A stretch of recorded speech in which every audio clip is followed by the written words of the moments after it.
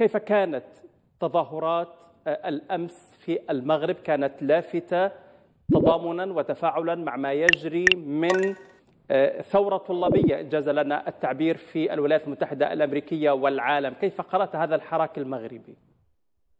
بسم الله الرحمن الرحيم وبه نستعين بعد تحية إكبار وإجلال إلى دماء الشهداء وتحية إكبار وإجلال إلى هذه الهبة هبة الضمير الإنساني على مدى الكرة الأرضية كلها بعد ثورة الشباب والطلاب في الولايات المتحدة الأمريكية قبل أن تمتد إلى كل آه، البلدان.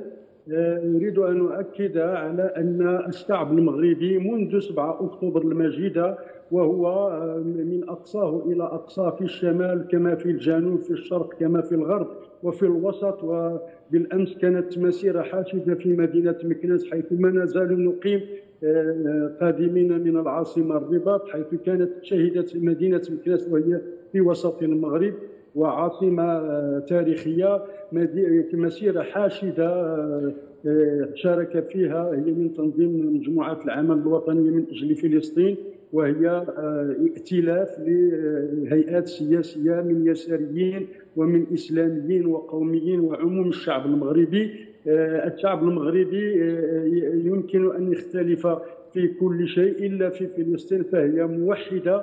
والشعب المغربي كلمة واحدة هي أن القضية الفلسطينية قضية وطنية كما بحت حناجر المغاربة في كل المدن وفي كل الوقفات وفي كل المسيرات الحاشدة والمسيرات المليونية. الشعب المغربي يعتبر القضية الفلسطينية قضية وطنية والتطبيع خيانة.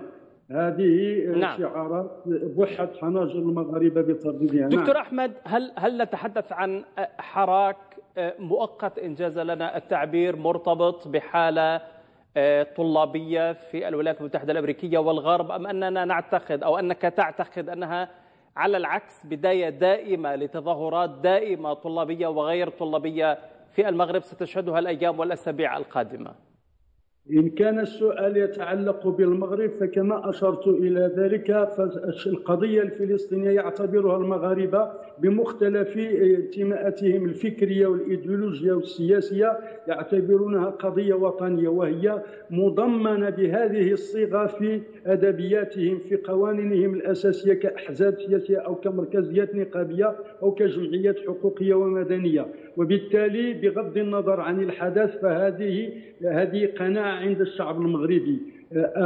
فلسطين قضية وطنية والتطبيع خيانة أي أن التطبيع مرفوض شعبيا وإن فرض هو مفروض استبداديا لكنه مرفوض شعبيا. هذه المعادلة ثابتة هذا ثابت عند الشعب المغربي لا يتغير بتغير المناسبات.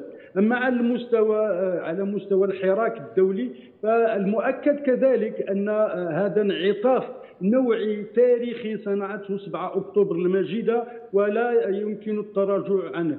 وهذه ثورة حقيقية انقلاب حضاري حقيقي آه، قضى كليا على السردية آه، الصهيونية. صحيح ليس غدا وبعد غد وإنما آه، مع المدة ستنقلب كل الأمور. ورأينا كيف انقلبت المواقف حتى من قبل عتاة الصهاينة من مواقع صنع القرار في في الدول الغربية بضغط من شعوبهم. سيتطلب الأمر بعض الوقت لتتفاعل الأمور ولكن هذا منعطف لا يقبل الرجعة ونحن متأكدون على أنه رغم أن التضحيات جسام حقيقة وآلاف وعشرات الآلاف من الشهداء ولكن آه، كما يقول المثل الفرنسي آه، الرهان يستحق.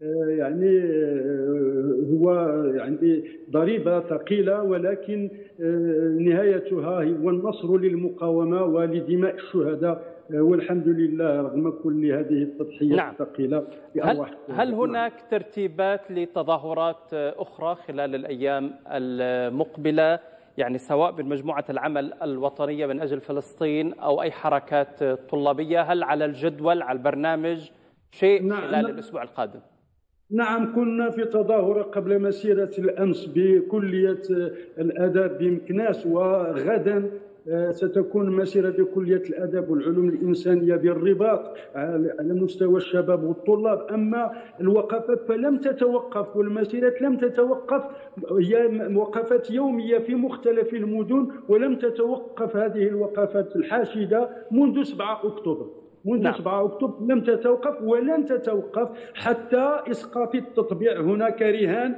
كسقفنا لنكون في مستوى دماء الشهداء في طوفان الأقصى. هذا هذه مساهمتنا وانخراطنا في طوفان الأقصى واستحقاقاته. نعم. أخيرا دكتور أحمد كيف توصف حالة المقاطعة سواء للبضائع الإسرائيلية أم البضائع الغربية للدول التي تدعم الاحتلال بالماركات العالمية المشهورة في المغرب كيف تقيم لنا هذا الملف؟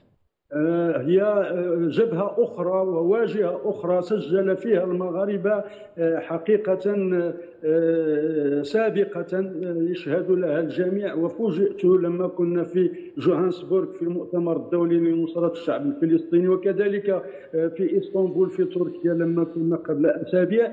فوجئت بمتابعة الوفود العربية والإسلامية للجهد المبذول من قبل الشعب المغربي وقواه الحية في هذا المجال وقيل لنا بأن جهدكم يحتذى كهيئات يعني هيئات عاملة في المقاطعة وفي مناهضة التطبيع والاختراق الصهيوني. هناك مقاطعة كبيرة لماركات وللعلامات التجارية المساندة للكيان الصهيوني وهناك تراجع لعدد من المؤسسات بفعل هذه المقاطعة وليس لدينا الوقت لنفصل فيها ولكن هناك تراجع وهناك حتى بيانات رسمية للاعتذار من قبل هذه المؤسسات والالتزام لدى الشعب المغربي بأنهم سيقطعون أي صلة بالكيان ولن يعودوا لإقامة العلاقات والتعامل التجاري بينها وبين المؤسسات الصهيونية فهذا عمل في في هذه الواجهة كذلك آه، فيه تقدم كبير وإنجازات وتراكم حقيقي. كل الشكر لك دكتور أحمد وحيمان رئيس المرصد المغربي لمناهضة التطبيع ضيفا عزيزا معنا كنت من مكناس.